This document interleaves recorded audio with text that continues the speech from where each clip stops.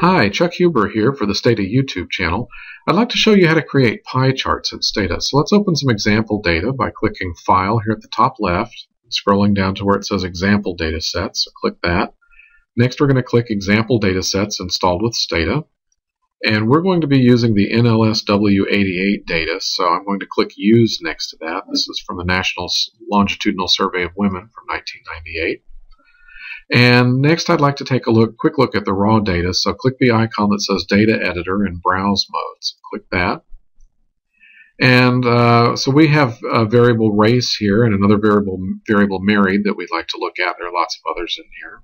But uh, that just gives us an idea of what's in our data set. Now to create the pie charts, let's go under the graphics menu and scroll down to where it says pie chart here. Click that and the pie chart dialog box opens. I'm going to move it up to the top right to give myself some room to work. And there are several tabs here. We're going to start at the main tab and graph uh, variable by category. So under category variable, let's select race.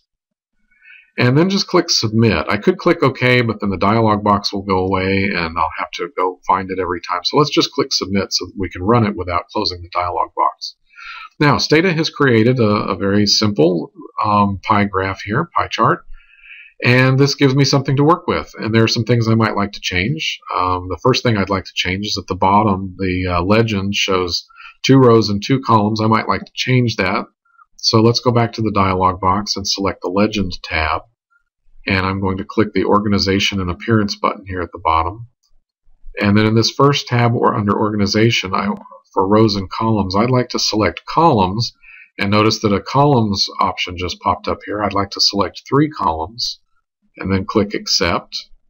And now I'm going to click submit. And it's changed my legend so that now I have one row with three columns as opposed to two rows with two columns. I think it just looks a little nicer that way. And the next thing I might want to do is actually show the percentages in each of the slices. So let's go back to the dialog box and click the Slices tab. And then at the bottom we have a, a, a, the options for labels. And I could label each individual slice how I like, but I just want to do them all at the same time.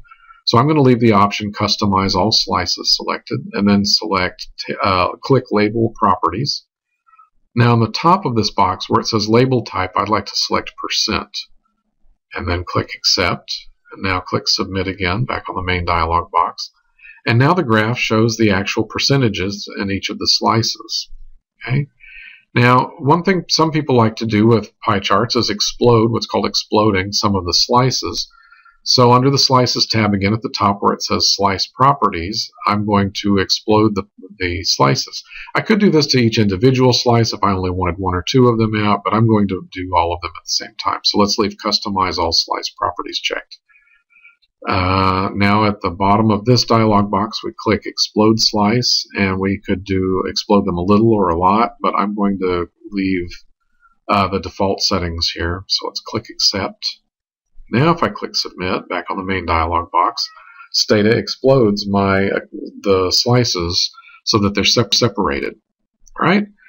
The next thing we might be interested in is looking at this pie chart by some other variable. So if I click in the main dialog box on the By tab, at the top there's the option to draw subgraphs for unique values of variables. So I'm going to check that box.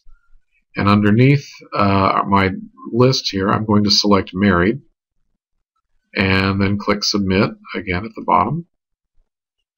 Now I can see my pie chart for uh, by of race by single women and never uh, married women. Excuse me, single and married women. Okay. Now I might like to add a title to my graph because it's usually nice to have titles. So let's type pie chart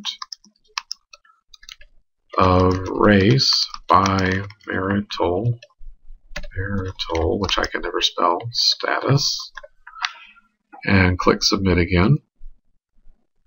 And now I have a nice uh, title here at the top of my graph. And again, it's easy to change the colors or the font sizes or the fonts themselves or whatever you like, but uh, easy to do all that. I just wanted to show you how to get do a quick pie chart to get you up and going. Okay.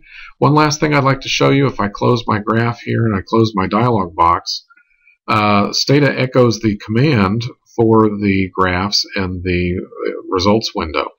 And I there are so many options to the graphs, I just can't remember them all, so I frequently create graphs by using the dialog box and then grabbing these graph commands and pasting them into do files or batch files. So this is a handy way to learn uh, uh, gra the graph commands and then uh, paste them into other things. Okay, so I hope this was helpful. Thanks for stopping by.